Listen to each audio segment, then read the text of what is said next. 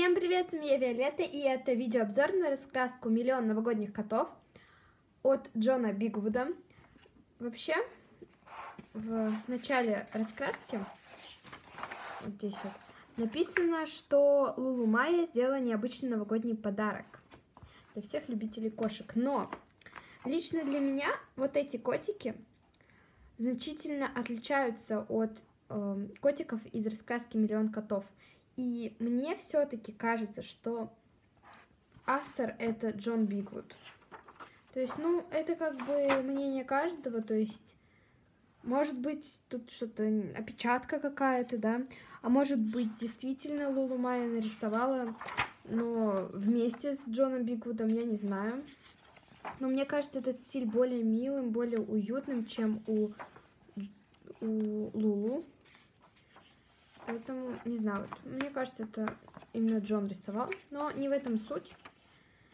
Я могу быть не права. Эта раскраска, мне кажется, настолько милая и уютная, что просто вот, вот самое то ее сейчас раскрашивать. У меня здесь пока нет ни одной начатой работы, потому что у меня сейчас нет времени на эту раскраску. Да, но она очень классная. Я ее буду в следующем году раскрашивать, может быть, даже через год. Но так далеко в будущее я не хочу заглядывать, но мне кажется, что эту раскраску, вот, ну, в этом году я особо так и не буду раскрашивать, то есть ну, пару разворотов сделаю, если успею, и все.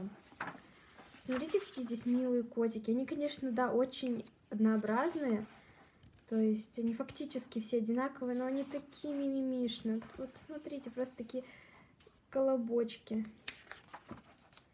Мне очень нравится эта раскраска. Покупала я ее на лабиринте где-то рублей за 150. А своей подруге я ее купила и вовсе за 100 рублей.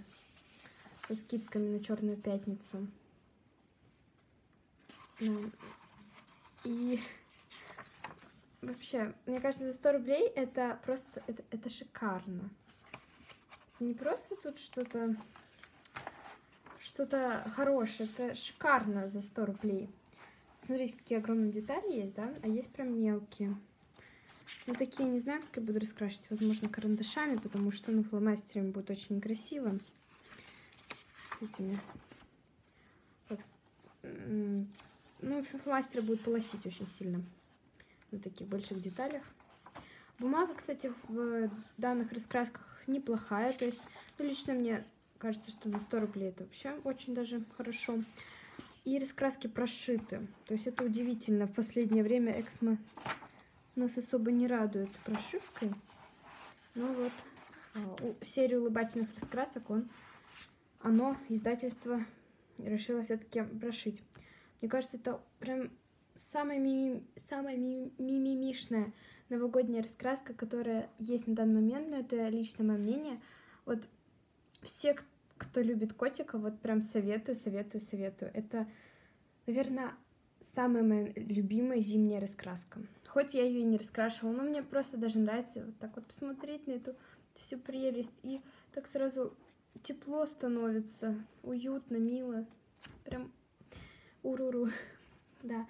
Ну, я надеюсь, что вам понравилось это видео. Напишите, кстати, если у вас эта раскраска.